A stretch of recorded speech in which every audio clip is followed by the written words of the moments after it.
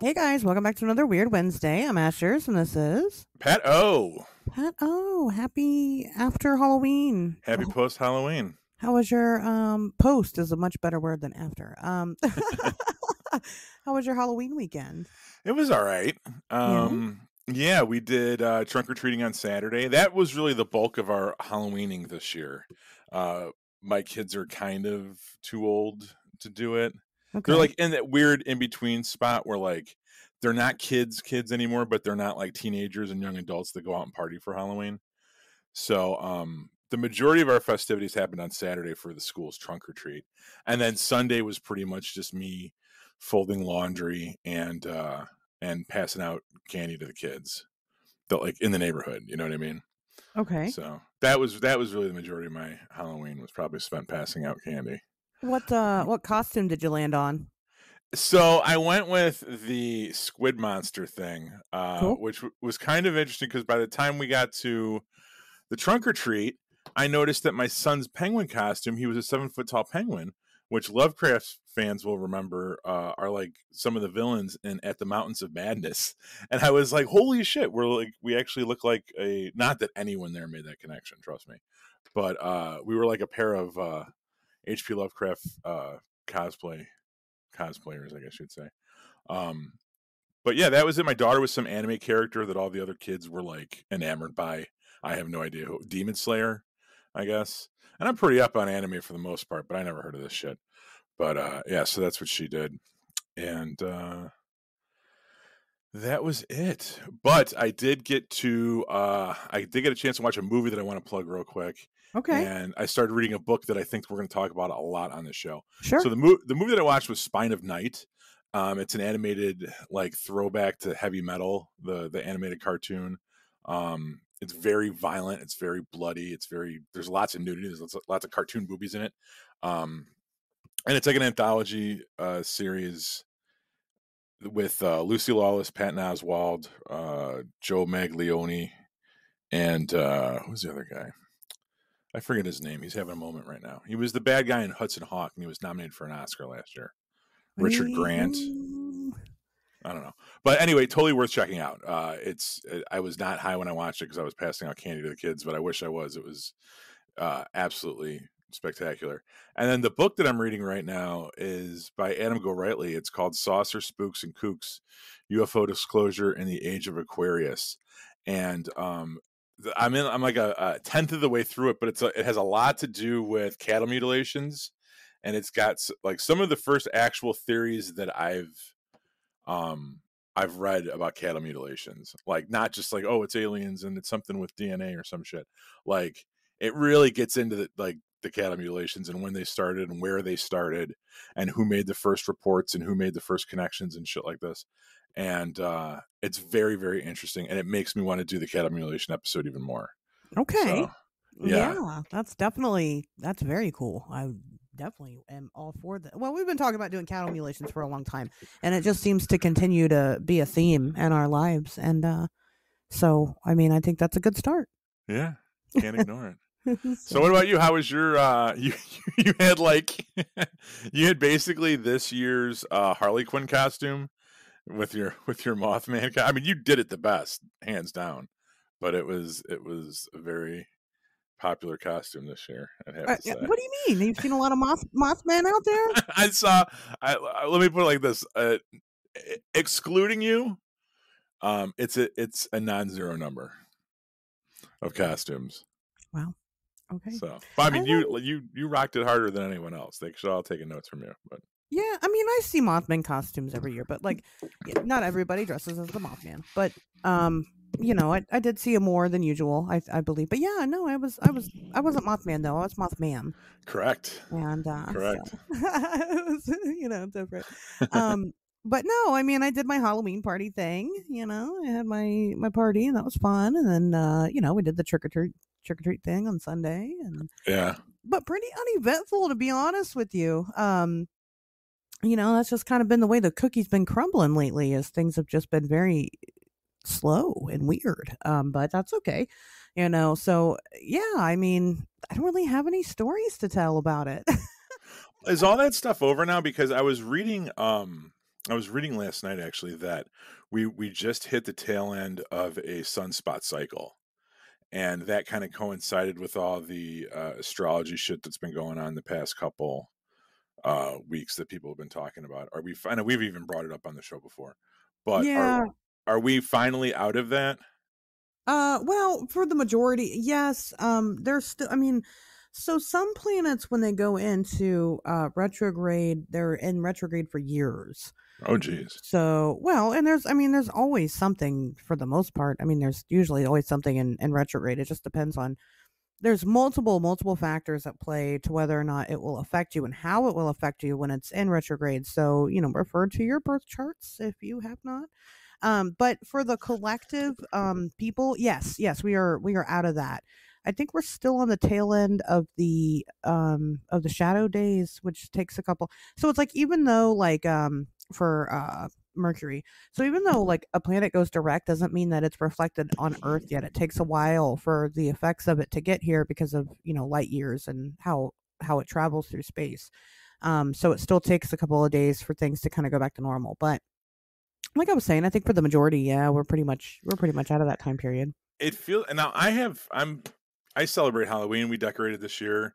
I'm always very festive and shit. I guess like it's I like it as far as holidays go. Um, but I there was there's a, a very palpable sense of relief that I have that this is over. You know what I mean? I, I- and it's yeah, and I don't know why. It's not like it was it was a negative thing, and it wasn't like you know it all culminated in some party or something like that. Like it was. It's just like it's over now. I'm glad that we like. I came home from work today, and before I even took my shoes off, I took down all the Halloween decorations from in the garage. Like, like that's it. You know what I mean? Like it feels good to kind of just like turn the page on this one. Not that this was necessarily negative, but just I don't know. There's something about it. Um, Yeah, I'm ready to it, be it moving next it wasn't one. a bad Halloween. It just it was a very strange and indifferent one, and I feel like a lot of people felt that this year, and Yeah. probably you know could very well be because the planets were just so fucking out of whack. It was hard to really just enjoy it, you know, and so that's just um that's just where we were, and now it's uh no nut November. So if you celebrate that, I fucked that one um, up already, Asherz. if you like to be sad, you know, no nut November's for you. that, that went out the fucking window when you were 15 minutes late for this recording session. I'll tell you that right now. wow. I mean, you know, here I'll pull I up the young lady's name whose fault it was. Skylar Vox. You know, he's fucking. You take it up with her. I'm sorry about that. Oh. well, then um I didn't know we were naming names, but Well, um, apparently I get a hell of a lot of fan feedback when I do, so I'm going to start name dropping my. uh your gonna flavor of the week. I mean, if it if, if it gets people calling that phone number, what's the what's the hotline again? Seven seven three five nine weird. Well, then Um, I that's swear to God, takes. I, I will have yes, I will play your guys's your guys's messages. I promise you, I will. Um, things have just been very strange. I've been doing a lot of regular people, very boring, very monotonous it's shit. freaking her the fuck out. It is. It's fucking. It's fucking wild. It's just got my ass in a tailspin right now. So, it, but it's it's slowing down. Things are starting to get kind of normal. I still don't have a vehicle, so that's great. I'm going on week three now without a vehicle, so it's been fucking awesome. Damn. So, and it's just a matter of you know actually diagnosing the issue and then getting the fucking part. It's ridiculous. So anyway, you know, like I said, I, I've just been doing a lot of um regular people stuff, and I apologize, but I'm I'm getting ready. CryptidCon is uh, right around the corner, and so. I am conserving my energy because that's going to be, whoo, that's going to be a hell of a weekend. So super exciting stuff. Um, Pat doesn't know if he's going to go. So if you think Pat should go to CryptidCon, you should call us at 773 weird and tell Pat that he should go to CryptidCon. Um, but I'm I am like ninety percent sure I'm gonna go still. I did not get my ticket this weekend, unfortunately. Our sub pump went out uh last week in the heavy rains that the Midwest were uh were inundated with. yeah. And uh so that had to take precedence. But we'll see. Um, well, that's what I'm saying. Right now, it's just the time period of just like chill and kind of get your regular shit together and like it's not it's just not a very fun time. I don't care. You know what? It's it's the week after Halloween and by this weekend my Christmas tree will be up and it will be beautiful and you can suck my dick if that's a problem. Um I've earned it this year. Yeah, you earned a good dick sucking, haven't you? Um, did I tell you my, my plan for Christmas decorations? I'm actually in the same headspace where I'm very I'm I'm very much looking forward to Christmas decorations. We are doing uh, this is me and my son uh, an idea we came up with together. This isn't just me trying to project on my kid like he's cool. We seriously, this was a conversation we had in the car. Um, we're gonna get a nativity scene, like one of the, your standard Walmart FIM nativity scenes, uh, with an African American Jesus if we can get one, or, or a Jesus of color if they have it. Okay, because the theme of this nativity scene is going to be authenticity. All right. Okay. We, I want a Middle Eastern Jesus on my front lawn. And then for the angels, my son and I are going to build biblically accurate angels. Okay. Not just the people or the little cherubs with the wings on it. I mean the fucking monstrosities that are like peeking through from another dimension with like a million eyes and four groups of feathers and the fucking lamb's head and all that shit. And we already designed one of them. We're going to take pool noodles and loop them around in a spiral and then put ping pong balls for eyeballs all over it and all we need to do is figure out the um the humanoid one with the animal heads and the and the four sets of wings and shit. But we were gonna do like an actual nativity scene. Like if this shit really happened, this is what you'd be seeing.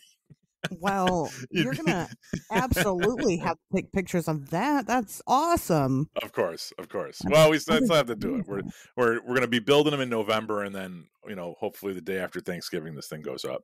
You got it ready. Yeah. Wow. I think that's great. No, I'm sure you can find, um, you know, actual Jesus maybe online somewhere. POC Jesuses? Yeah, I'm sure. Yeah. No, know, no, no. They, I've seen uh, those them around in the neighborhood before. So you know, if anything, get you just a little a baby doll, you know what I mean, and put it as Jesus. So I don't know, but no, that's a really good idea. No, I'm definitely I'm so down. I am feeling the Christmas um spirit. Uh, that's that's what I'm just moving right along here on my holidays. Um, but no, yeah, like I said, my my weekend's pretty. I mean, for the most part, it's pretty uneventful. I mean, we did the trick or treating thing, and you know, the kid enjoyed herself, and I enjoyed myself, and you know, it was uh, it was good. But um, yeah, that was my weekend. Like I said, pretty boring stuff. Um, so that's really all I got. I got some news. You want to hear the news? what you got? Oh, did you see the story that I sent you? I did. Okay, will you talk about that? No, I was going to talk about point? that. Okay. I was all going right. to talk about that first. Oh, all right. Never mind. I wasn't going to talk about that first, but let's go ahead and talk about it. Um, because I also kind of want to mention it too, um, because I'll, we'll get there. Okay, so um, Patty, why don't you share it? You, it's your news. You you bring the news. Go ahead. oh, I don't have it in front of me. Um, Okay, so ba- right. basically, there was an actual case this year of a uh, someone that found hypodermic needles in candy bars, and it happened in Ohio, no less. It sure did. uh, just north of uh, between Lima and Toledo, which is actually the, the part of Ohio that I'm the most familiar with because that's what's right across from Fort Wayne. So I've been Yeah. to Toledo a bunch of times. Tony Packo's. I am Check out- not very familiar with that. What is that? A pizza place or something? No, it was mentioned in Mash. It's like uh like coney dogs. You know how you guys call chili dogs coney dogs because you're fucking creative.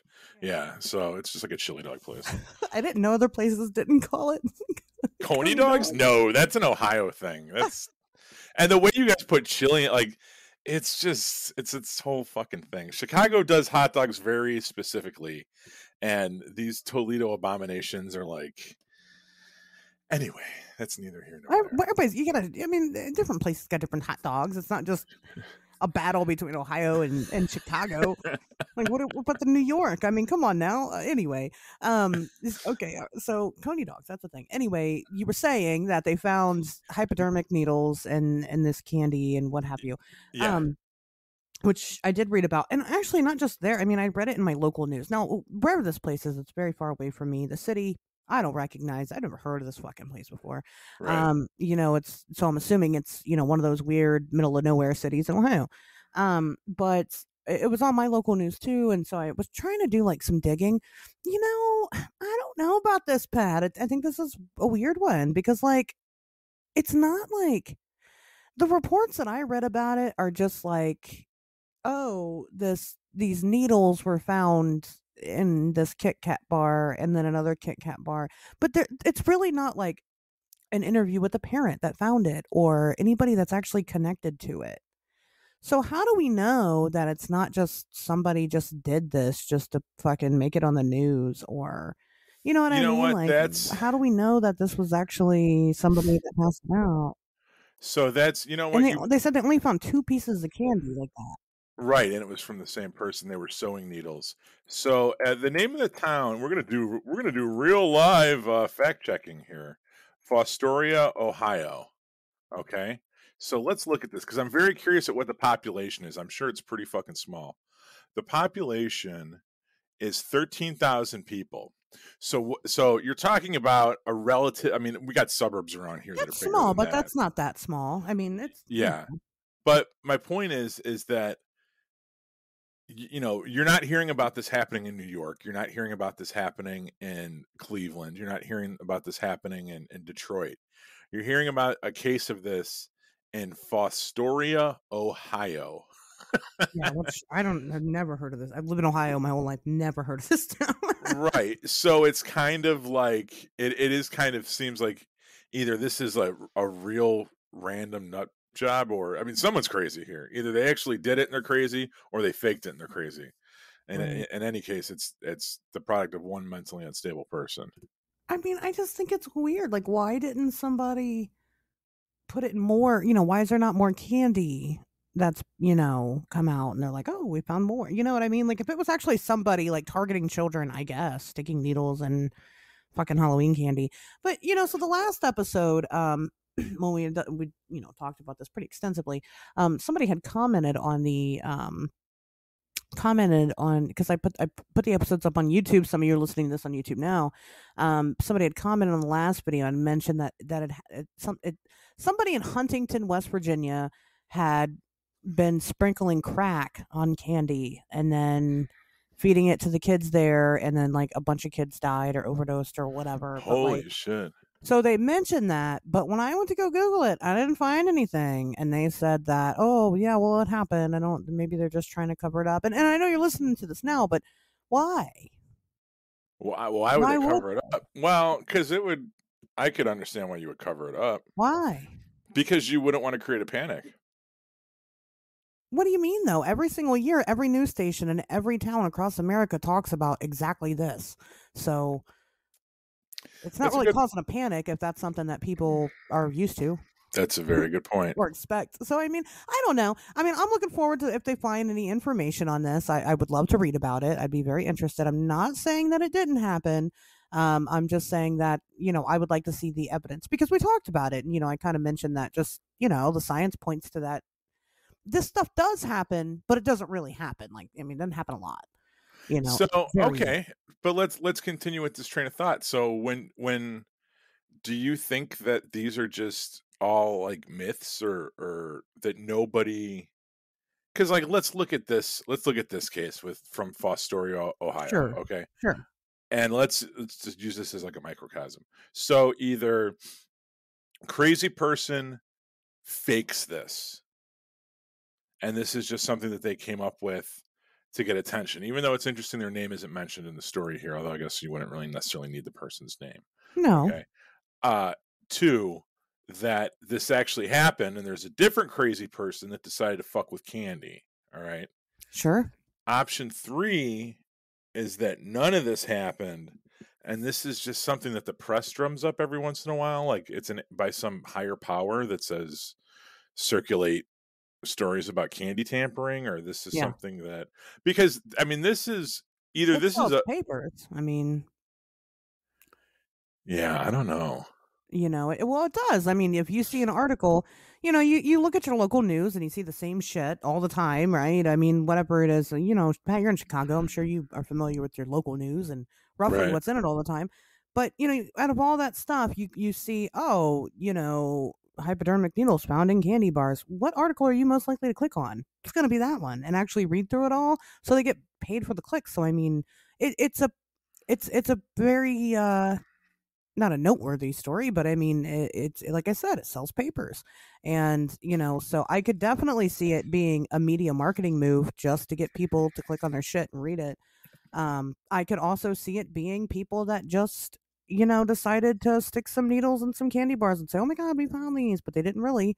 Um, you know, but it could also be a psycho that just decided, I'm going to go buy a whole bag of candy and I'm going to stand outside and I'm going to hand it out. And in two of those candy bars, I'm just going to play a little game and put fucking needles in them.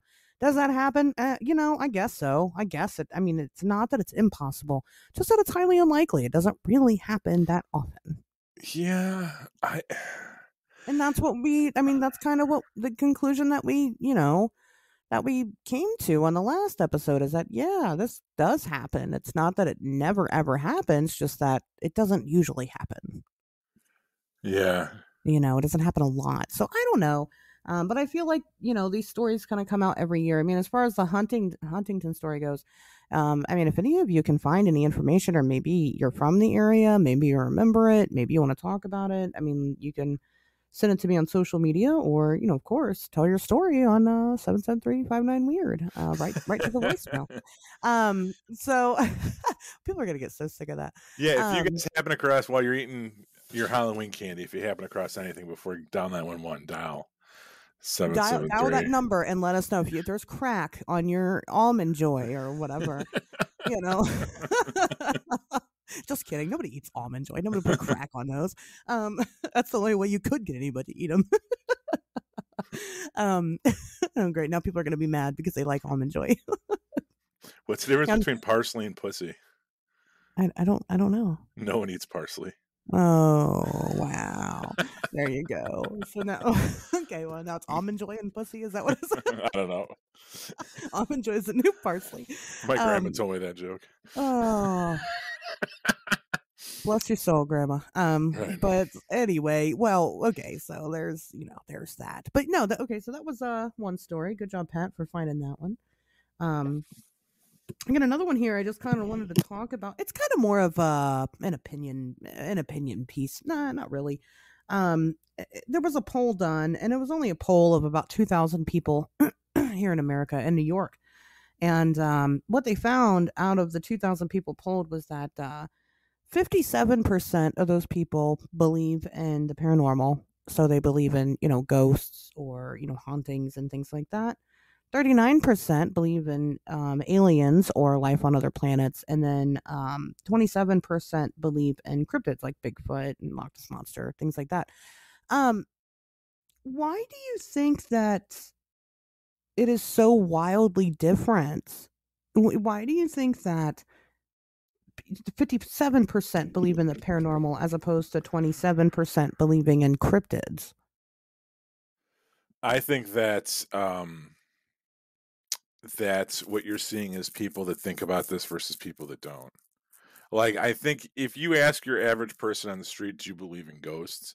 Most people won't really think about it. There's, they'll just be like, "Yeah, sure, okay." You know, it, th- that is not a very hard question. It doesn't take a lot of soul searching. It's not going to change your worldview, right? Um, I bet if you looked at if you if you took a if you discounted the ghost and cryptid questions and you just asked those two pe- those like two individuals um what their worldview were were I'm sure they would have completely different outlooks on politics and and Sure. culture and stuff like that. I think you have somebody that you know that the top percentage uh, that you gave. Those are probably people that are more just kind of like normal or basic. you know, Sure. like yeah, I've seen ghost hunters. I think on Discovery Channel or like you know, yeah, I believe in ghosts, whatever. And then you have somebody like you know, do you believe in you know Ogopogo or whatever that fucking thing is, and like the you know that's like a somebody that's spent a lot more time thinking about this shit Right. you know and i think there's a lot fewer people on the walking around on this planet that actually spend time reading and uh, doing the research that takes to to believe in these things. You know any geek off the street knows the concept of ghosts. It doesn't qu- require a lot of like exposure to non-mainstream materials. Uh, when you start moving into aliens and stuff you're getting more and more specialized areas of knowledge until you get to the cryptids and the cryptids are like the apex nerd for this shit you know well, From what. I've learned in the past year and a half of doing this fucking show is that's No, that's a cryptid good point. people are a completely different fucking breed. you know. Sure. well, thank you. Um, no, I, I think you're right. I think that a lot of people, because here's also something that I've considered with with a view like this, because I do find that a lot of people, I've had people straight up tell me, tell me that they believe in ghosts but don't believe in cryptids, and it's like, how the fuck can you b- possibly believe in one and not the other? Like, ghosts aren't a ridiculous not. concept to you, but Bigfoot, oh hell no, that's just not. You know, Trust me, it took silly. them a fraction of a second to make that distinction in their head. They didn't give it any serious thought or anything. You know what I mm-hmm, mean? Like, yeah, they just haven't done the research, and you know, I Right. understand that. But also, let me tell you something. Okay, all right, you're in New York, right? And we'll just I'm just using New York because that's where this poll was conducted. You're in New York. You're in the middle of the city. How many chances in New York City do you think that you have to see a Bigfoot? I mean, how frequently do you think Bigfoot just moseys into New York City and says, "Here I am"? Probably never. Um, but how I mean, how likely are your chances of experiencing a haunting or just something paranormal in general, just something unexplained? Um, I think a lot more people have a lot more chances to experience the unexplained in general. Now, whether that be ghosts or I've heard a lot of weird stuff. I mean, it could be, you know, influenced by aliens and things like that. If, if Sure. if you're having unexplained phenomena happening, usually a lot of people their mind immediately goes to ghosts. Um, so I think that maybe that's another reason for it is because in order for you to experience a cryptid, most of the time you have to be in an area where cryptids are going to live. I mean, these are animals after all. Um, Right. You know, most people are living in very urban, you know, very city like areas and uh, aren't experiencing that. So I think your demographic matters also. But let me tell you something right now. Listen, 39% believe in life on other planets. This isn't why is this a matter of, of opinion anymore? Like why is this up for debate? There are there there is life on other planets. There is. The universe is fucking infinite. It is not possible for us to be the only ones. It's just fucking not. And Well, that's so disappointing. Yeah, I mean, we've proven there's bacteria in fucking water and shit. Like, that's not even Right. want- It's not even you- for debate. right. Right. you know and so that's when i was reading about it it wasn't just like do you the, because the question becomes different like it's either do you believe that aliens have come here right Well, and- the you also got to remember the question. The the poll, the title of the poll should really be, you know, we poll the type of people that will sit there and do a poll over the fucking phone, and we found that of, the, of those people, so and so believe in ghosts and so and so believe in aliens. Who are these people that they're talking to? They're not. right i don't know how they conducted it or, Yeah, they're the type of people that respond to this shit. Like, I never have you ever gotten one of these phone calls before? no No. And if you did, would you do it? Eh, maybe you would. It depends on what the topic was. probably not Yeah, but maybe you wouldn't. So it's not. This isn't a very good sampling of of where people are at. It is interesting, but I've asked before. I mean, I've done a poll on like Twitter and things like that, and um, you know, a lot of the times, eh, you know, aliens or not aliens, uh, the ghosts beat everything, and it's weird, especially the people that follow me. It's like really ghosts. That cryptids always trail trail last.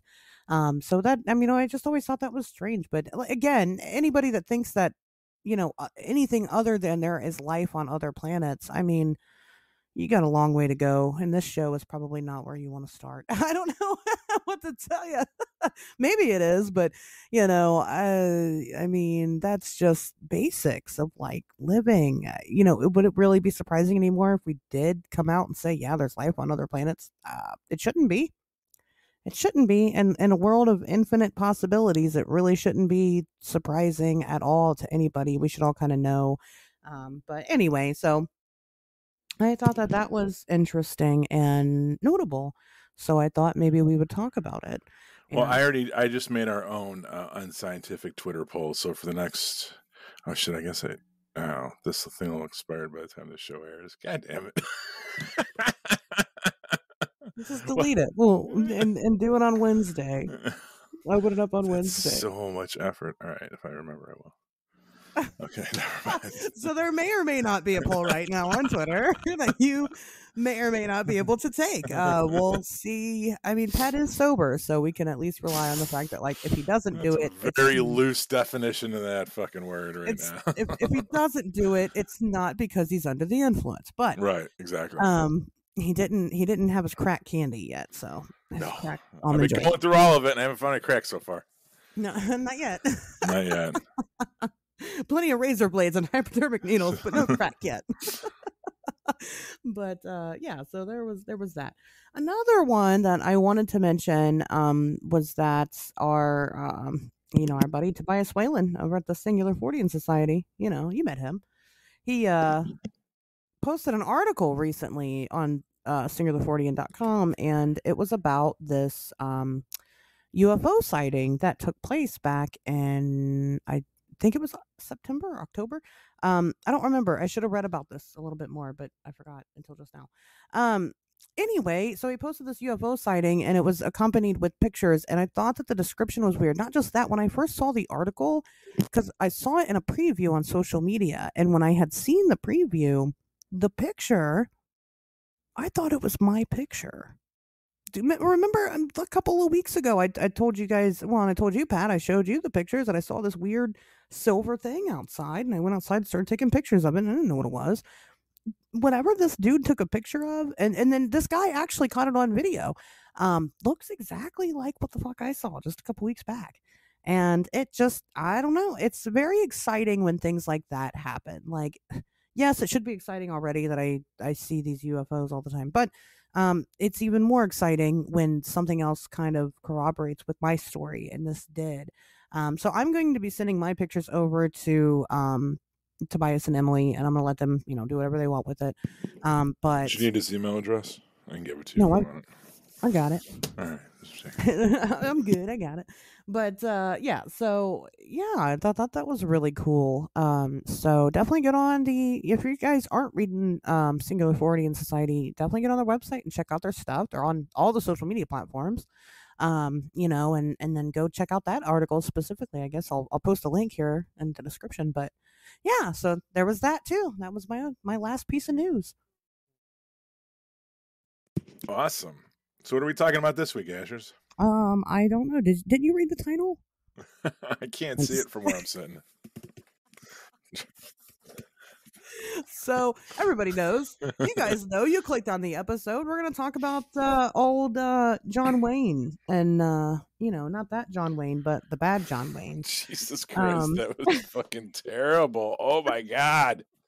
I need to I need to meet you in Kentucky and we need to fucking we need to have an immediate training session. On what? On John. Wayne? What are we? It. What are we trading about? And I know you're a single mom, but you don't have to start making the dad jokes. sorry it's fucking painful. Yeah, I just thought of that one on the fly. This, I don't even write this shit. It just comes to me. I, I Um, believe it. What do you, uh, Pat? You are um also from Chicago, and Right. uh, Wayne Gacy. He's he's kind of a thing there, right? I mean, Yeah, I mean he so they so spoiler alert, they executed him when I was like 14. But uh leading up to that, the two things that I he was always yo you knew about him as a kid growing up here. Like the story was not anything it was very fresh in everyone's mind. Um and the two things that I remember the most about him were uh number 1 the paintings that he used to do that he was selling from prison that was a big deal around here in the in the late 80s early 90s before he was executed. Uh he would paint these creepy fucking drawings and like all the weirdos in chicago would have one. Um and the other thing was that his final meal on death row was kfc yeah, and I I grew up in a very strict Brown's chicken family, uh, where we we you know there's the, there's the three fried chicken food fan food chains. There's Popeyes, KFC, and uh, Browns, and we were Team Browns. And hearing that KFC was the last meal of that guy, it made a lot of sense as a kid growing up because we reviled that shit. I've since come around. I don't have such. you're like, oh, that fucking guy. We should have Yeah. known. yeah, exactly. Eating KFC over there, like a fucking derelict. But uh, yeah, that was. I mean, that's as far as I knew, like as a kid. And then I got older, and obviously I read into it a little bit. But Sure. Wow, very interesting. Well, were you guys? I mean, especially being um you know, a, a teenage boy in Chicago at any point. I mean, do you think that that contributed to any of your local lore or anything like that? I mean, because you were kind of his uh demographic. No, I wasn't that attractive. Um, you know, I never had to worry. I never. I honestly, I should watch what I say there because it's not entirely true. Um, it just no, I guess you know it added to the creepiness of clowns. Like I was researching the show this week, and my kid was like asking me what what the topic was and everything, and I was telling him like this was kind of the OG killer clown myth. You know, um, I wouldn't say specifically that that Stephen King drew, you know, it and Pennywise from this entirely, but it definitely created, it definitely added to the uh the conception, the kind of the the mass, you know, pop culture conception of clowns as being creepy or evil sure. or something.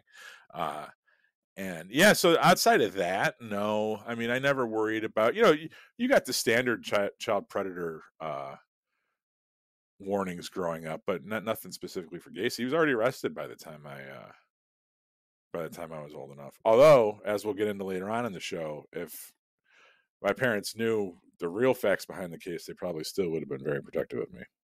Sure. Well, yeah, absolutely. Well, okay. So, I mean, getting into Gacy, Gacy's an interesting. Uh, he's an interesting guy just because he he had so many victims. You know, most of which we we don't even we're not even aware of how many yet. Uh, you know, and we might not ever know.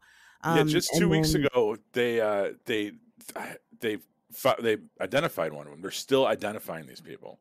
Right. Um, it right. was one of the bodies they had pulled out of the crawl space and using 23andme or one of these fucking things they uh, were able to trace the dna back to a relative and they identified the corpse. Right. And know? so you know it's it's one of those things where we really you know have no idea again the scope of exactly what happened and we probably never will. Um, but you know Gacy is a very famous one mostly because he's you know associated as being the you know a killer clown um, which you know we'll we'll get into and talk about a little bit more. But uh, not just that, this man was a pillar in in his community and everything that he did. He was very successful. Um, and you know he was definitely a, a big go-getter and eh, you know he's just not the typical you know what what you would think for a serial killer. I mean, what we're finding out now here in you know here we are in 2021 is that you know sometimes these people you know, serial killers don't look like who you think they do, or they don't act like who you think they do. They could be literally anybody. You know, that's why we got people like Bundy and Gacy and, you know, so on. Even even Dahmer. I mean, he was an alcoholic, but you know, he was very he wasn't very ambitious and didn't really have a lot of motivation to do anything else except for you know kill people and eat them i guess um so i mean it really should come as no surprise anymore. But I mean, that's why cases like this do get really big, um, is because people don't expect people like Gacy to be a part of something like this. But let's we'll kind of start, um, you know, from the beginning. Um, you know, there's a couple of things that I, I want to talk about in his childhood that, you know, I think are obviously notable. Um, I mean, for the most part, Gacy grew up in a in a decent family. Um, you know that I mean, his dad was a raging alcoholic and he wasn't great, but like his mom was kind of great. Like she loved him and uh, was very protective of him, especially against his father. Um, his dad would would beat on him and stuff, and his mom would always try to, you know, take take the heat, you know, otherwise. And uh, so, you know, there there was that. Um, but Gacy had a head injury when he was really really young, and then not just that, he ended up having a bunch of of medical issues in his life. And there's been a lot of speculation as to whether or not these things had affected him as an adult and affected his way of thinking. And that's why he ended up kind of turning into who he was. But um, you know, he was always the fat kid. He couldn't he couldn't play sports. He wasn't allowed because of his medical issues that he had. Um, you know, his dad always referred to him as, you know, a sissy and he called him a queer and you know, all, all kinds of stuff. Um, I don't know, Pat. Did you dig too much into his childhood? Yeah, um, it's interesting that you just li- you la- listened to all that stuff and were like, "Yeah, he didn't have that bad of a childhood." Like Jesus, I don't know what the fuck you were subjected to. Why do? Oh, well, yeah. I mean, well, I kind of showed your true colors there. So, uh, w- well, he, you know, he was sexually assaulted as a kid. Um. One of, yep. Yeah, one of his dad's friends. Um, I don't know what the fuck he did to him, but uh, you know molested him in a in a truck, and uh, didn't want to tell his dad because you know he's a he did the whole victim shame thing where like you think it's your fault or you think your dad's gonna be pissed at you. And and from the stories that i read which is probably the same material you saw like the dad seemed like a little bit of a fucking psycho like having a father like that could definitely have an adverse reaction on a person. Yeah absolutely. but what's what's interesting about gacy is that it didn't necessarily he was always troubled but he wasn't necessarily unsuccessful and that I think is what makes him kind of unique. Um, you know, he did eventually get married, and uh, coincidentally enough, the woman that he married, their family owned a chain of KFCs. Yeah, and Gacy managed them and did very well for them, and was well liked by his father-in-law and and his dad came around at that point in his life and was very proud of him right and then um you know a couple years after that so he's in a marriage he's he's doing well business wise. I mean, it's kind of like been handed to him by his in laws, but whatever. He's doing the work, you know, and uh, gets arrested for sodomizing children. Well, no, yes and no. Um, well, let's just was... go with yes. Let's assume that your co-host is not. no, that's okay. It's that should be not unless you have to. But my point is, is that it wasn't like he was in this dark, depraved era of his life. Like he had all the things there. He was, and this is where he first gets involved with the Jaycees as well.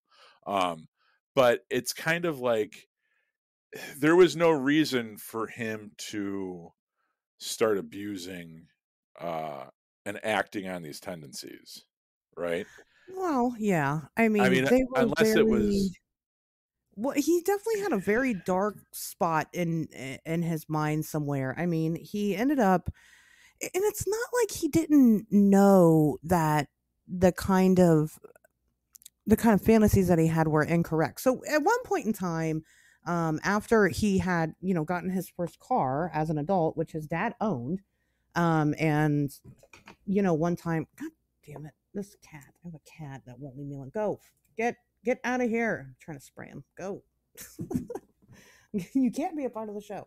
Um, his dad bought bought his card. He would make payments on this card towards you know towards his dad, and his dad would take the keys like and and like basically whenever he wanted to. So even as an adult, and this was like young adult, you know, Gacy didn't have full freedom away from his father. So what he did was he bought another set of keys and he took the car and he left and he went and he moved to Vegas and he spent a couple of weeks in Vegas um, living in a mortuary and he would um, you know so he saw dead bodies a lot and saw you know them embalming them and and stuff like that um, well he would actually like crawl into the caskets with these bodies and like hang out with them and he knew that he was fucked up for this and so he after this had happened, he kind of freaked out and then he, he called his mom and he went back home.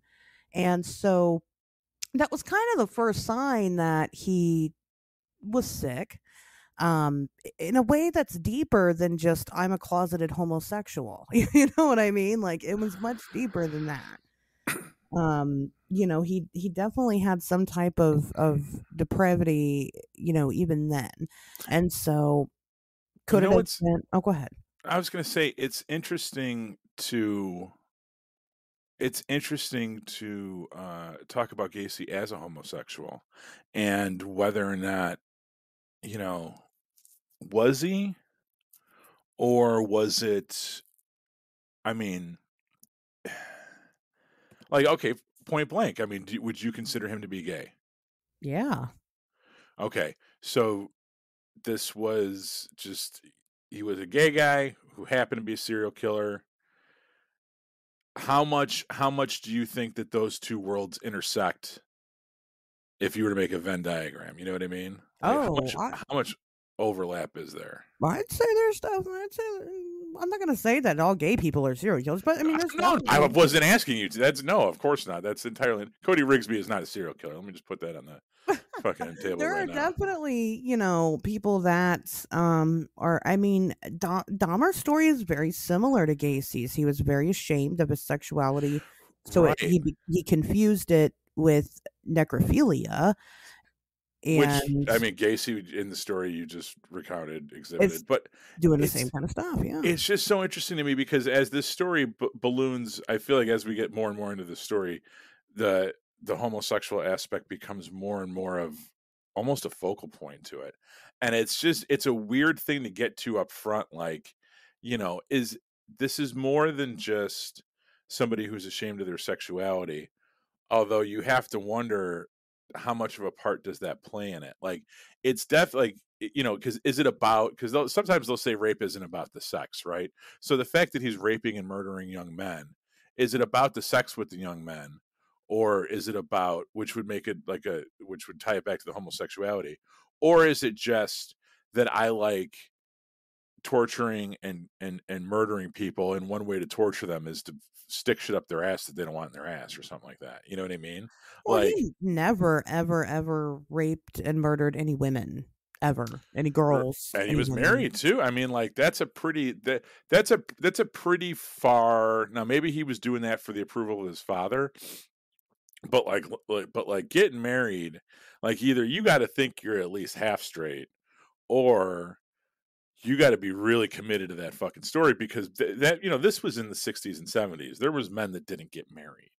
You know he didn't have to get married. It's not like there was you know unless it was something specifically with his father there wasn't a whole bunch of societal pressure telling him that he had to do it. He could have he could have sidestepped that. Well, he- I mean, but there kind of was because he was in he was into politics.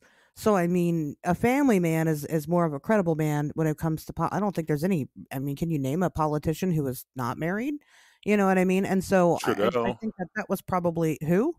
trudeau right I don't know who the hell. I, you know, the prime minister the, the, the hunky hunky canadian guy I don't politics. Well, I don't fucking Well, know the- anything. I don't know anything about U.S. politics, let alone fucking Canadian politics. they're, all- all north american scum Give a shit about fucking politics. nafta Um, Brian, they're they're all on this. They're all fighting on the same team. So fuck those. It's, it's us against them, you guys. It's uh. fair enough fair enough but anyway, but, but typically, I mean that it makes you look better. But no, his second wife. I mean, they had a very tumultuous relationship, and she, you know, says that they like he had sex with her, and then never had sex with her ever again. Told her he was never gonna have sex with her ever again. you he know was that very open about being bisexual. He had gay porn all over the place. He had men coming and going out of the house. He was gay. She but you know they also did wife swapping and he would bring people home from the bar to bang her and shit like that was I, i'm not saying that it wasn't you know the marriage that she always dreamed of when she was a little girl but like it seems like she was she was into the shenanigans as well which is maybe why you thought hell I'll give it a shot another time if i have a kinky partner.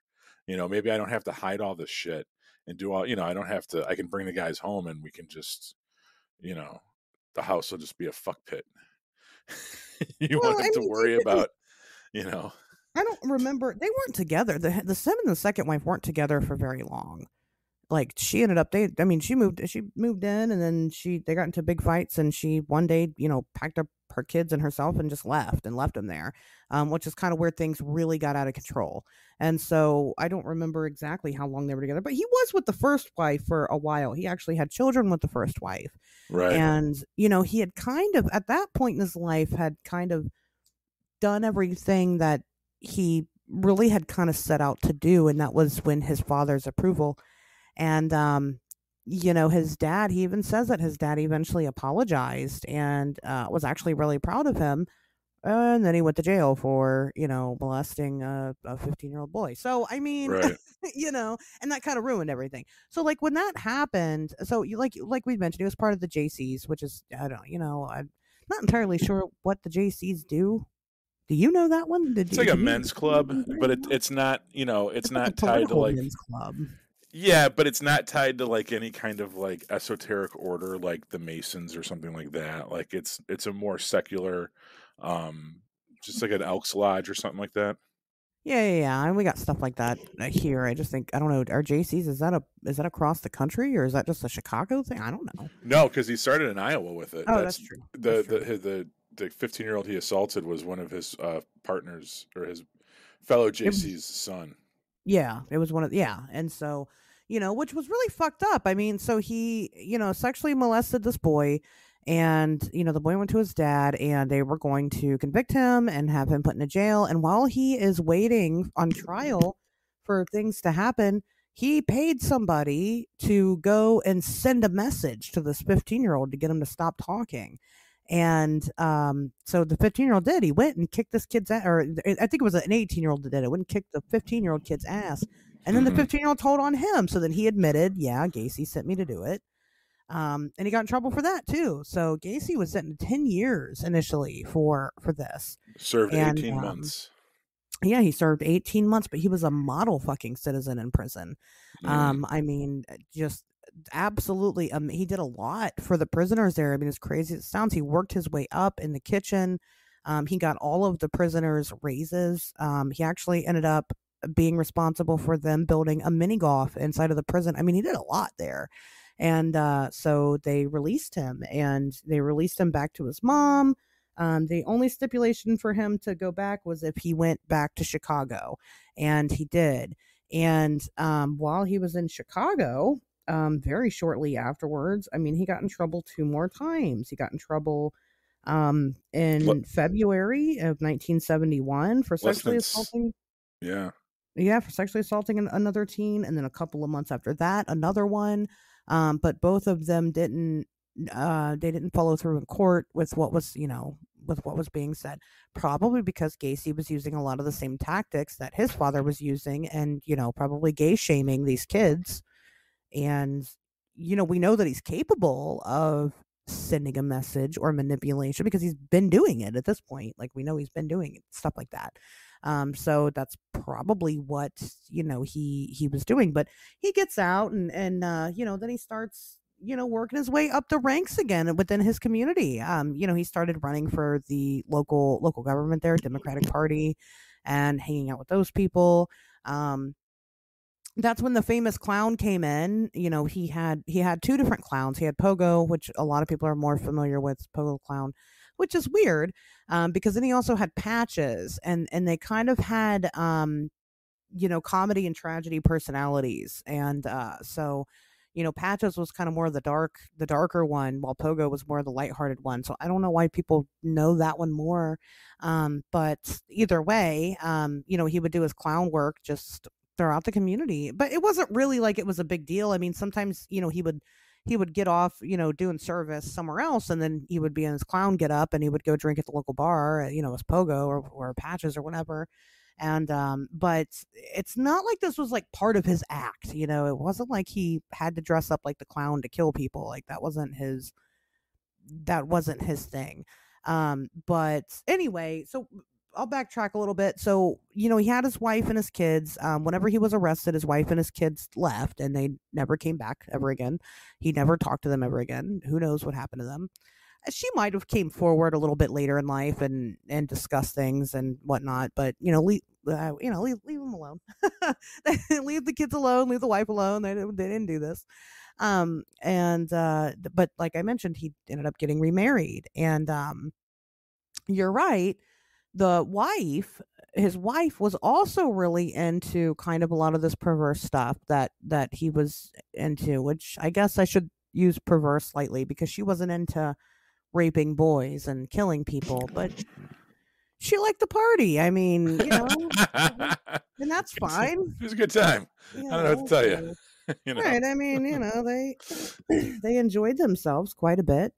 Um, but yeah, I mean that marriage didn't last very long. Like I said before, she, you know, kind of she left and that was that. I mean, and then from that point on, he kind of um he that's when he started up the construction company and uh that other guy worked for him for a while. God, what was his name?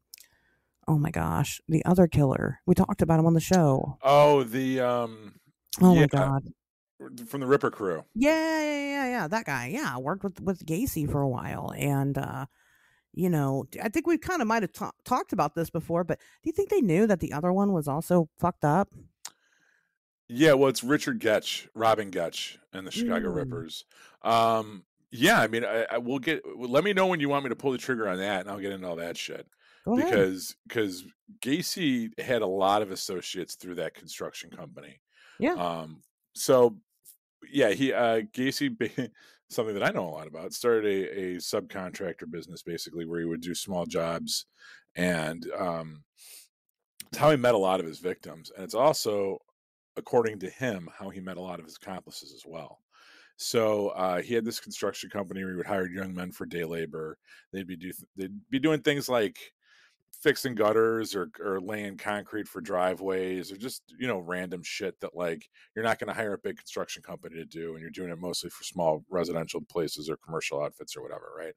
So this gave him the opportunity to bring in a lot of labor like he had young men coming and going a lot of these guys hard up working for cash. You didn't need to be terribly qualified to do this shit. He'd have guys on crews, and you know if someone was good, they'd last. If not, then fuck them. We, we wouldn't use them on the next job. Um, and this is where a lot he found a lot of his victims from, right? But uh, it also coincidentally enough ended be, ended up being a place where, like we mentioned just a minute ago, uh, Robin Gecht from the Chicago Ripper crew worked and knew Gacy. Um, and then something that I came across last night is uh, he worked with a guy named Philip Pask, who would go on to be. Um, so Philip Pask, actually, before he started working for Gacy, was a uh, Chicago lifeguard, and um, for the city was a lifeguard for the city of Chicago. And before I'm telling the story, all fucking out of order. So uh Philip, okay, Philip Pask gets goes to jail for um some thefts and murders and just like doing violent criminal shit. While he's in jail, he meets John Norman. Now, John Norman was uh, this guy from Texas who had a basically like a escort service that he was running out of the classified ads of uh, like magazines geared towards gay dudes right? So um in the back it would it, it you know hey if you want to subscribe to our newsletter send three dollars in a stamp self-addressed stamped envelope to this po box. And then what you would get in return is a list of young men with you know pictures of them and like you know their their stats and everything.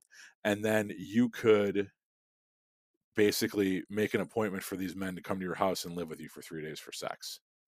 And then it was it was a human trafficking ring, okay, right. that that was done through the classified ads of these newspapers.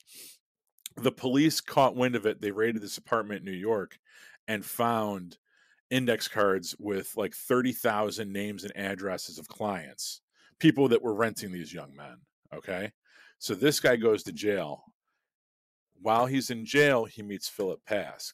Philip Pask becomes friends with John Norman. Philip Pask, and while John Norman's in jail, he's still running this operation through the mail, and the jail has no idea what the fuck he's doing. Philip Pask gets out of jail. He runs this organization for John Norman out of Chicago while Norman finishes up his prison sentence. John Norman gets released from jail, and the Tribune, the Chicago Tribune, realizes that Philip Pask is working with John Norman because they both share a PO box at the post office and of like the same they, they they're both sending their mail to the same PO box, right? So the newspaper makes this connection between these two people. They find out that Philip Pask is working as a city of Chicago life lifeguard at a fire station for like youths. All right. And like the fire station has a swimming pool. He's the lifeguard. It's a bunch of kids. All right. Obviously, he gets fired immediately. But who does he get hired by? John Wayne Gacy. So now he works for Gacy's construction company. And some of the the thing about Philip Pask is that uh, he was very he was tall and he had very bad skin. He had like a really pockmarked face, and sometimes he he he would like to dress in women's clothing, right? And uh, a couple of the victims that escaped Gacy had said that they thought that he had people with him when these like rapes were happening and he was in the house that people were in the house when Gacy was like attacking him. We can get into Gacy's whole thing what he would do to these guys in a minute. But one of the one of the recurring descriptions was that there was a tall person that was a, so that was in the room or, or, or a person that was dressed as a woman but they knew it was a man or something. So there there's been like suggestions by some of the victims that survived that Philip Pask may have been involved with Gacy. They definitely worked together, but that he might have also been involved in Gacy's uh, kidnappings and tortures and shit. And then, I mean, even Gacy himself had said several times that uh, he had accomplices and stuff, and he kind of went back and forth about who they were. Um, so yeah, that's what I got on that. Yeah, I mean, and that's you know, well, and you know, Gacy has always said that he's had accomplices. One of the first things that he asked when he was arrested was whether or not his accomplices had been arrested too. And they're like, what do you mean? Right. and, you know, and so he had always maintained. I mean, there's even record of certain victims that, you know, ended up falling under, you know, the Gacy had been tried with that, um, you know, Gacy wasn't even in the same state when they when they were killed. Yeah, there's some suggestion that they might have been using Gacy's house and that was that was why there were so many bodies in that crawl space that you know this this uh Delta project you know they were trafficking these young men around the country number 1 most of it was just for prostitution but some of these young men got fucking killed and Gacy's house was a place to dump the bodies Yeah. and uh and that's why these uh, these accomplices of his they weren't so much accomplices in the sense of Gacy was the ringleader and these people were killing underneath him. It may have been more of they were adjacent to Gacy or Gacy might have been actually one of their underlings and this was a much bigger operation that Gacy was doing a smaller part of. And uh, oh that's yeah okay that's what I got Well, and people were in and out. I mean, he did have, you know, these people that were working for him, these young men that were working for him that he was also sleeping with, or, you know, whatever it was they were doing, like that would come live with him, you know, for periods of time. I mean, he had people kind of in and out of the house all the time. And like realistically, you know, he he says he didn't he didn't stop putting people in the crawl space because he got arrested. He stopped putting people in the crawl space because there wasn't any more room. right that's exactly what he says That's And- exactly what he says. Yeah. some of the so what's interesting is that the so yeah some of the people that uh he murdered or his were, you know yeah that he murdered legally speaking um were drifters or they were young men that were hard on their luck that started working for his construction company uh when when Gacy was finally brought to justice, it was by the Des Plaines Police Department, which is where he was living at the time. What's interesting though is that for as long as his murder spree went on for, it was a lot of young men from Chicago that were missing as well. Chicago police never got involved. They had aspects of this case. Gacy had been suggested as a as a uh, you know as a suspect that they never followed up on. They really they I don't want to say they dropped the ball on it because it's so like the, the evidence at times was so overwhelming towards him and they did so little that it really does look like they were just letting him fucking do whatever. And a lot of the victims that went missing were from were younger white guys, high school age white guys that lived in nice parts of the city. Uh, one of the I was reading where his victims went missing from. It's like all like around where I work actually, like Edgewater, Lakeview, Rogers Park, like you know decent parts of the city these weren't necessarily all um, not that it would have made it any any more justifiable or, or better but these weren't necessarily all like broken forgotten poor little kids. These were like you know your average middle-aged middle middle class white kid that went missing and the parents like you know are screaming for justice why can't anyone do something? The police do nothing.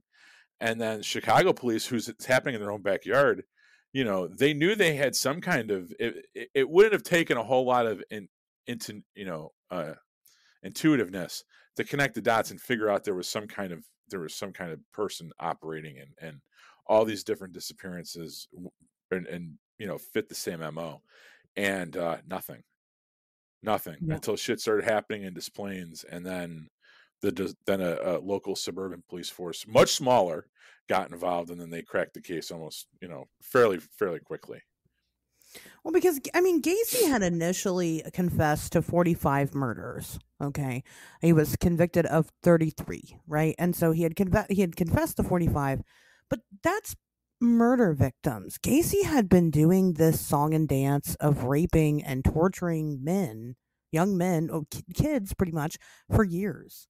You know, and so he had some people that he just raped and tortured and then let go. One of his victims claims that during his rape and torture, um, somebody else was there.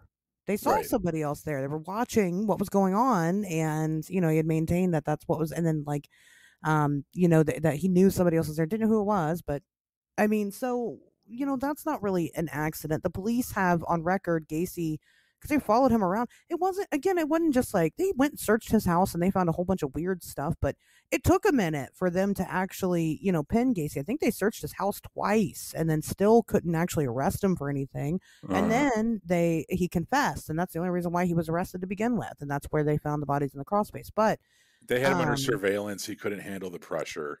There right, was if there's I read a couple accounts of like the last twelve hours that they had him under surveillance and he was losing his fucking shit. he was, yeah, Yeah. and went went to his lawyer and confessed everything. And uh, but you know, while he was under surveillance, I mean, Gacy had met up with a couple of the workers for this construction company, right. and Yeah. they had uh, some strange conversations that kind of implied that maybe you know these people knew what, what was going on and uh but the police just never really i mean they just you know they had their guy and that's all they you know that's all they really cared about they didn't care about investigating further and you know i don't know if it's just because you know homosexuality in the 70s was was weird and they just didn't want to deal with it they didn't want to hear all the details I, it was very strange the way that it was handled but then again we I mentioned before, Gacy was not just some guy. This he was involved in politics. You know, he had a lot of friends. I mean, he would have these parties where they would have upwards of like 400 people. You know, and and these are high profile people that would show up to Gacy's parties, and uh, you know where he was the special, you know, guest of honor and things like that. So I mean, you definitely got to wonder, you know what was going on there especially because when this all started happening like with the Jaycees and stuff like that that's kind of when it was starting to get out that these people were you know having these sex parties and they were wife swapping and trading porn and things like that.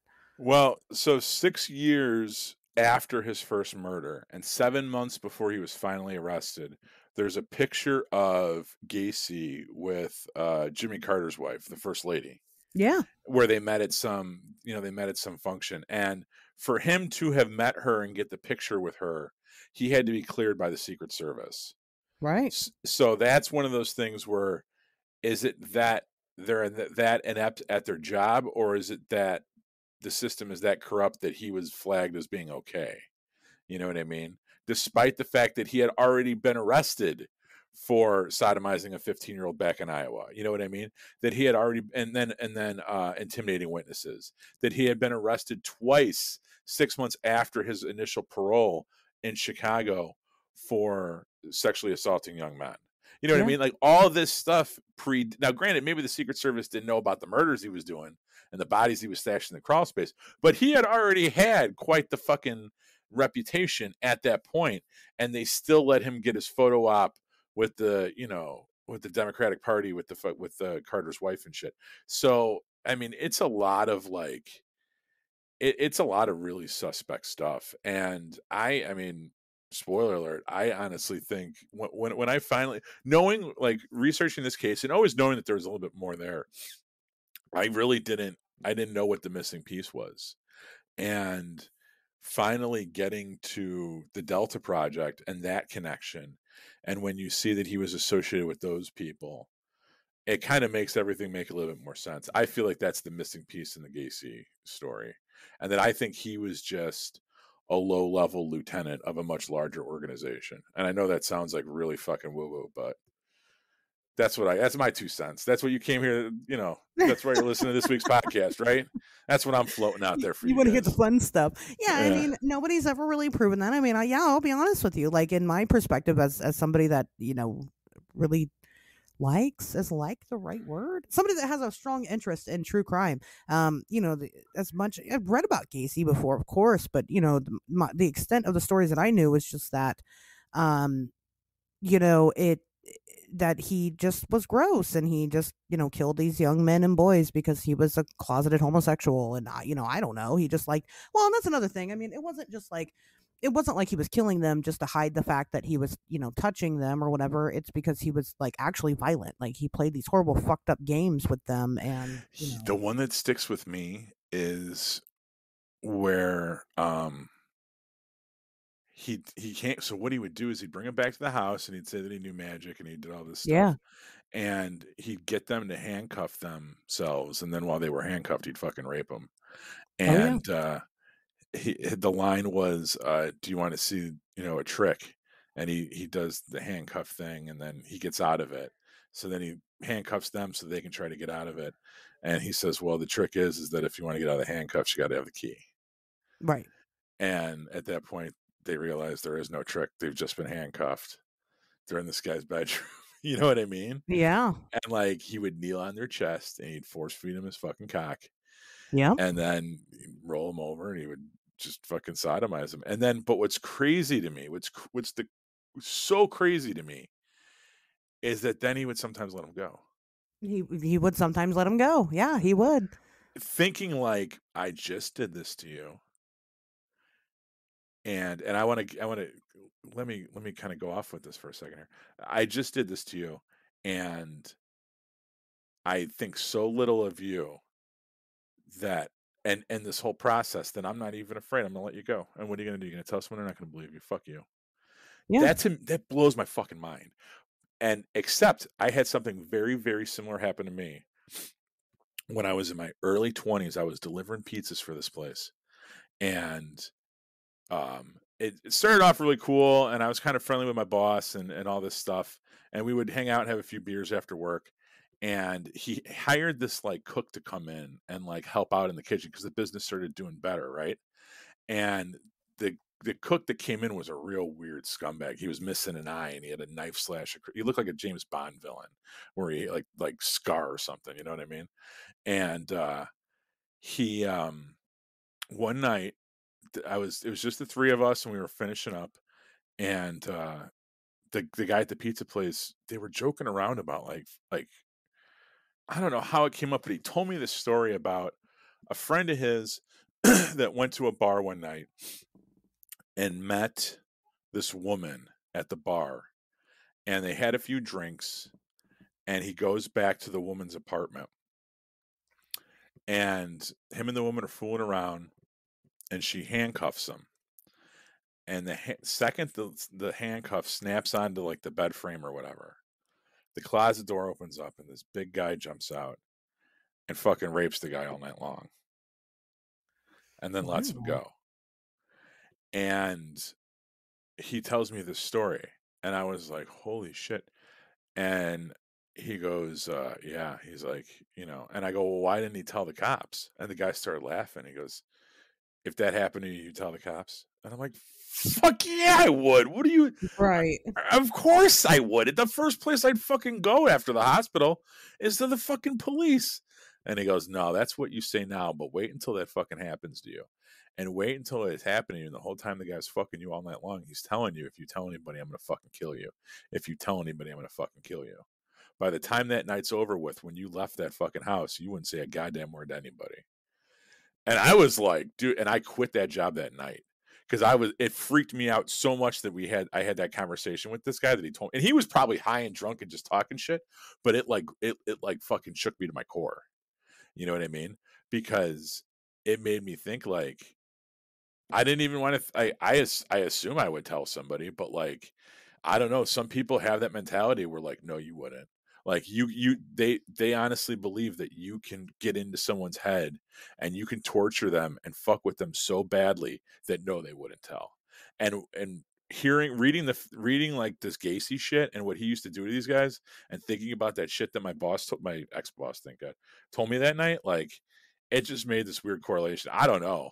I mean it, Well, it's crazy it happens a lot. I mean, especially as, as a woman, it we- you know we don't report a lot of things, and so you know it it definitely um happens more often than you think. Um, but especially for somebody, if if that somebody that just did this to you is John Wayne Gacy, who happens to be really highly regarded within your community. You know what I mean? Like it's not like he was just again, he wasn't just a terrible person. He was very likable, he was very personable, he was somebody. And he's like, Nobody's gonna believe you. I fucking dress up as a clown for children's parties. Like nobody's gonna believe you. You're they're just gonna they're just gonna believe that you're gay and I'm just gonna tell them that you were compliant and that you're gay. And I've gotten away with this before. And you know what I mean? So like those are the kinds of thoughts that you know, he he was implanting in these people's heads who he let go, you know, and they and they just and they'll tell you that because I mean, initially, you know, he was the cool guy. I mean, they'd go to his house and they'd hang because it wasn't always like it was just one person. He would have parties where these all these young kids would show up and they would like do things like watch porn together and or you know i guess you know was it stag films or whatever you know they, they'd watch porn and he'd give them alcohol and drugs that they couldn't get otherwise and you know he was giving them money they were working and then like um well we were kind of talking when we did the episode with uh with your buddy lee actually um you know about having that that coach and that cool you know having that cool guy that you'd go there and then, you know, just kind of one thing leads to another. I mean, Gacy was offering some of these guys he was paying a good amount of money to do stuff with them. And yeah, you know, it, so it sounds to me like he was more of a pimp. And unbeknownst to some of the men that that lost their lives or they found in the crawl space, maybe they thought they were just, you know, being pimped out to these older guys or these other people, these other pillars of the community or whoever he associated with. Because right. he's got all these friends that are covering his ass six ways to Sunday, and all he's doing is is is hanging right. out with young prostitutes. Okay, you know, no, he's probably he was probably more of a pimp and a garbage man, and he he set up and you know these young kids would think, come over thinking like, oh, I'm gonna get paid eight hundred dollars to blow this fucking you know business owner. I'm gonna or the grocery store owner. I'm gonna blow this dentist. Right. get fucking seven hundred dollars. And what they don't realize is no, that was last week. This week you're gonna get fucking killed.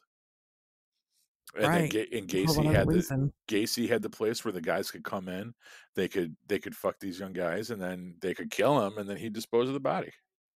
You know? And what do you think? I mean, why do you? Because obviously, you know, those, you know, the the dead people can't come back and say, well, there was this many people that killed us. I mean, let's just assume that it was just Gacy, I guess. Why? Why do? You, what do you think escalated it from being just one of these, you know, sexual assaults to to murder? I mean, what? Why uh, would he jump that far? Well, that's something that you know. I think the the stereotypical thing is, oh, because killing is the ultimate rush. You know what I mean? Yeah. And like, you know, it's it's I he I read somewhere that he described it as you know better than the most mind numbing orgasm was killing another human being. Um, I don't know. I've never killed anyone. Come pretty hard in my life, but I mean, I, I, I can't really compare the two. you know, uh, I've yeah, said well, some really weird shit by while nutting before. Let me put it like that. Oh, but uh, yeah, okay. but um, I can't. Yeah, I should have been there but uh no it's just i i don't get it like i i think that um it could be a sex thing it could be to heighten his own arousal thing or or it could have been 30 different guys living out some kind of weird snuff fantasy and gacy being like no i get it man i get it you know i've done it before too you want to try it before? And then who knows maybe they had fucking cameras in there maybe that was maybe that was you know the the beta test of the fucking Epstein Island was Gacy's shitty little house in the burbs, you know, where they give the guys the chance to do this shit and then fucking blackmail or something. I have no idea. I mean, the dude was obviously fucking depressed. You know, they found a, an 18 inch dildo in, in Gacy's house. Was that for him though, or was that for his victims? I have no idea. I I don't know. I want to know. Right. Well, I mean, at that point, uh, you know, who gives a shit about someone's intestines when you're going to kill them and bury them in the crawl oh space? Ten minutes I can't anyway. imagine. What a terrible, fucking, horrible, sick, disgusting, awful way to die. I mean, really, you know, that's. Well, right, and and uh, I, I I think it. My theory of him being a pimp and a garbage man makes more sense because how could somebody it, it makes more sense for him to be slightly human still because yeah. that means that he only committed that crime a handful of times instead of 33 you know what i mean? Because at that point if you've brutalized and murdered that many fucking people how how are you then turning around and going out in public and and like Dahmer was a recluse. Like no one ever talks about Dahmer as being this charismatic life of the party that everyone fucking loved. Dahmer wasn't married fucking twice. You know what I mean? Richard yeah. Ramirez wasn't a pillar of the fucking community. Uh, I'm not saying there's not charismatic serial killers, But I think by and large, most of them that do the real fucked up shit, they're very antisocial. They're very weird, and and they're not blending in as as seamlessly unless they're white. They're not blending in as seamlessly as as people like to think.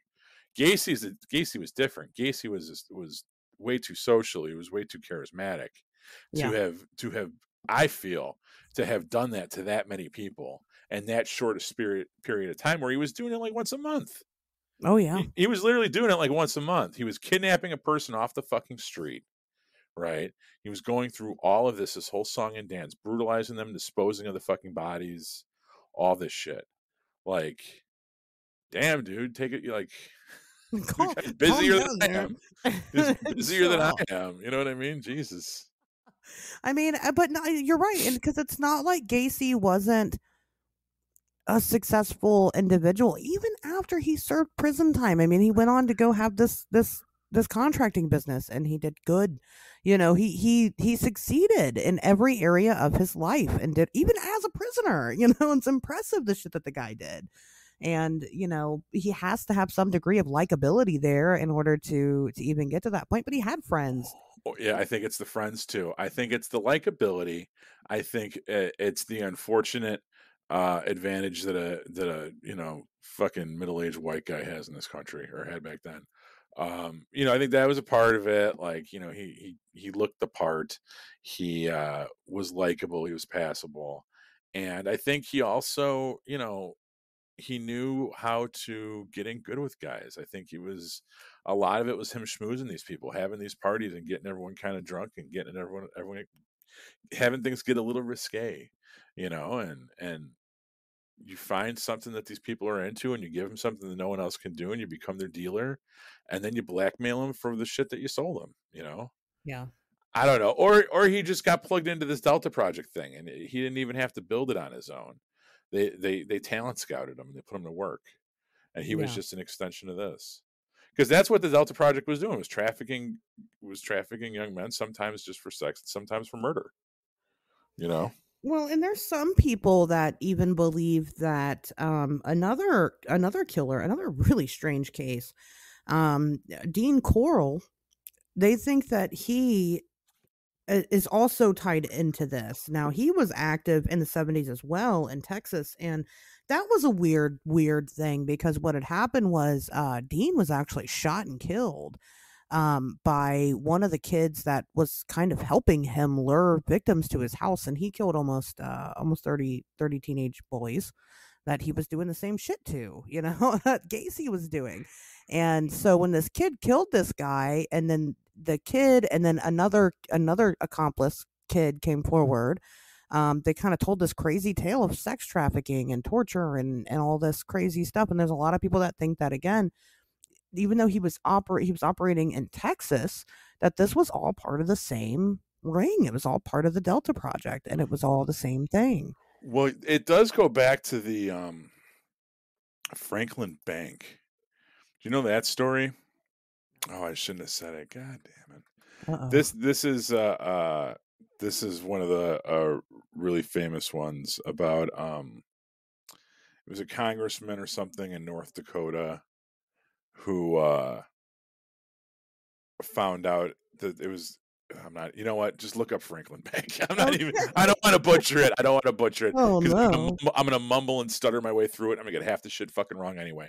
Just look up Franklin Bank. It's a very famous case. It's one of these things where like there there was money being embezzled from this thing, and it it it started off as one kind of investigation and just accidentally goes sideways and blows up into this whole entire fucking enormous supposed conspiracy of human trafficking of young boys all across the United States and there's some real wild aspects of the story about tunnels and trains and fucking shit but I'll let uh, listeners look up on it. It- And it's not directly that's not directly connected to Gacy, but the Delta Project is. So it kind of like the narrative starts with this program, then morphs into the Delta Project, and then that's where Gacy gets involved. Yeah. Okay. All right. Well, I mean, it it just seems like the more you kind of um dive down these rabbit holes, the more you kind of start, you know, really finding some some leads in the other things. And you know, it's interesting because the same, you know, within the the Dean Corll case, uh, this kind of the same thing happened was that there's this kind of there's these unanswered questions that don't really make a lot of sense that the police just kind of refuse to follow up on and you know why? Uh, you know I, I, guess why not entertain the idea for a minute? I mean i understand there's some conspiracies out there that are just absolutely insane like the earth is flat you know we know that it's not um but um you know, there's some out there that we know did happen. Like we've talked about MK Ultra, we know that happened. like that's real.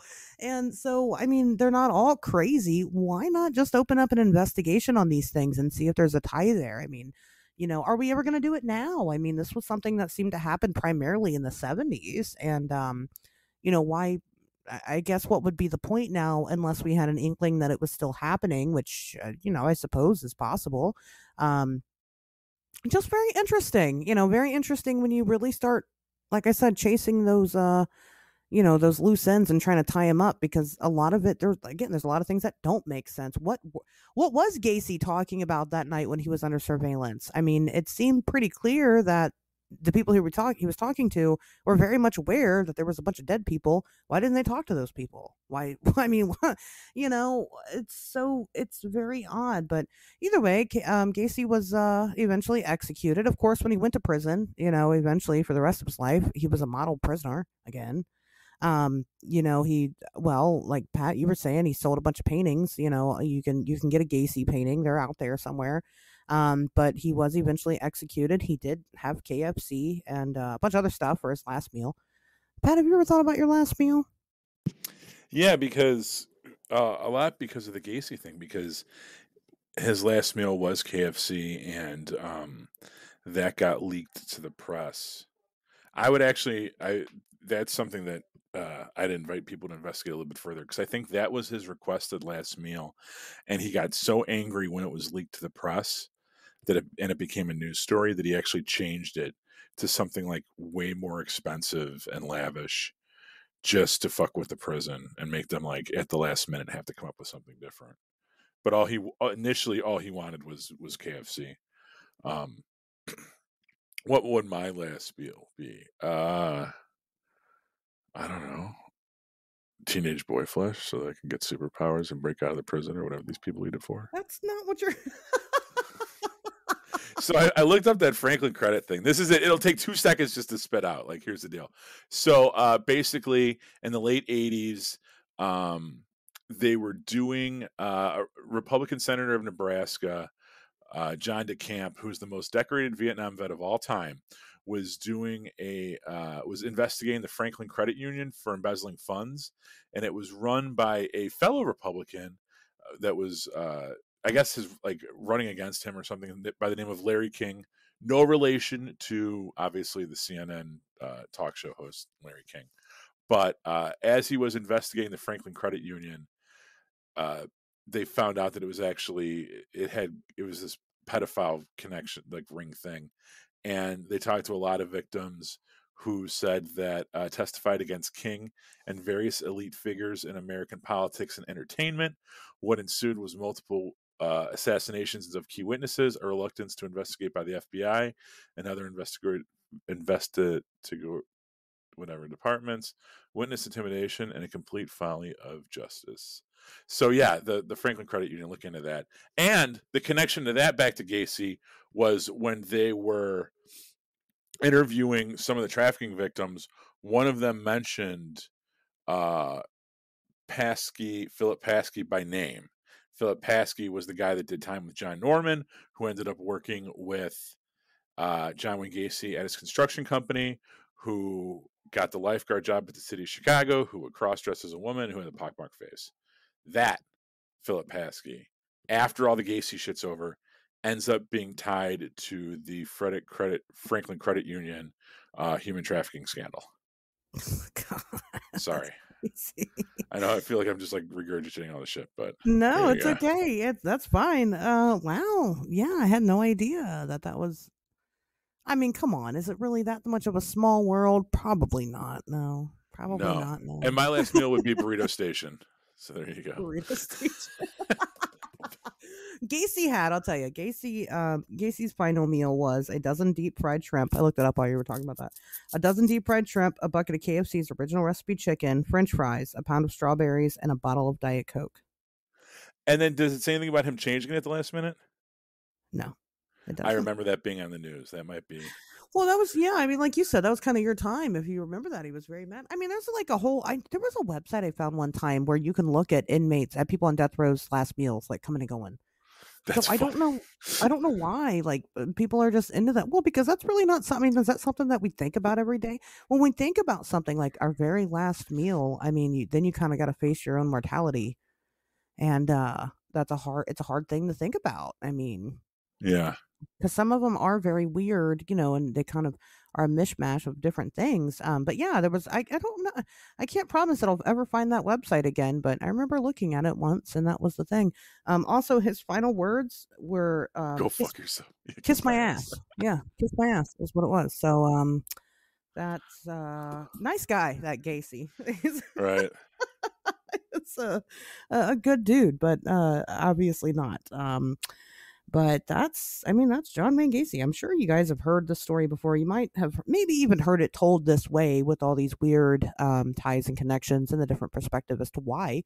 Um or maybe you were like me and you just never really heard it told that way and Gacy was completely at fault. Um but you know, there there it is. The uh the infamous killer clown. Pat, you got any final words on on Gacy or anything that we talked about? Don't let people handcuff you unless you know Don't. them reasonably well. I just well, well, that's true. Yeah, don't Yeah. do it. Um, that's probably not a good idea. Like, I don't care how fun you think that person is. Like, they're not fun. They're John Wayne Gacy, and like, you should probably leave. Right.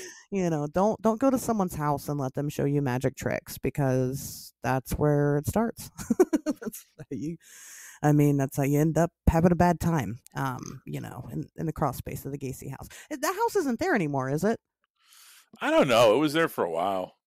what It's not What that far. mean? Yeah, they didn't tear it down right away. It's um it's not that far. I don't know. You should stop wherever it was and whatever it is now i'll take pictures for me Just come to Chicago and you can we'll drive past it. oh, i mean i I'll- will I'll, but I'll let you out at the end of the block and I'll pick you up at the other side so you can walk past it. just not look weird. That would look one thousand percent. They would know exactly why I'm there. Like this fucking weird girl coming to look at the There's another weird one. Yeah, I can't imagine. I can't imagine like moving in there or moving in to anywhere around there because it would be just flooded with like, you know, Sadness and ne'er do wells. ne'er do wells. Well, wha- uh, well, that's true. It's a very, it's probably a very famous street now. Oh, Well, I don't know. I think that the longer things go on, I mean, I'm sure they expect people to come check out that area. Um, but I think that for the most part, it's not like it's a hot spot. You know, the Chris Watts house, like that's that house is probably way more famous right now than the Gacy house is. Uh, but again, I don't think the house is there anymore. Yeah, it's been demolished. Okay. Uh, so it was uh, it was uh, turned into a vacant lot in 1984. It stood vacant until 1988. People bought it and then uh, built a new house on it. And then, uh, as of 2019, it was currently for sale. oh, So there is a house there now, but it's not the same house. and it's for sale. Right. For half a million dollars. Well, this was 2019. You could probably get a little bit cheaper now.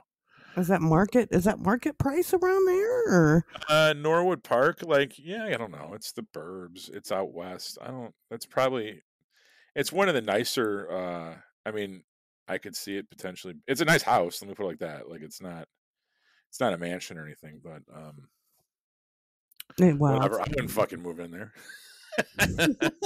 it's probably haunted as fuck. Yeah. I wouldn't even just. Why would you want to live there? Like you could live anywhere else. I would not want to live there. And if, here's the thing, I think that like they they totally screwed the pooch by tearing that old one down because no one's gonna want to live there, right? But if you had the original house as it was, someone will fucking buy that thing.